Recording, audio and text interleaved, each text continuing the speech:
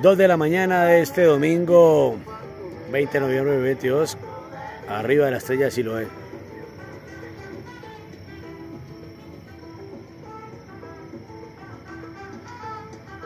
Siloé Siloé para el mundo entero.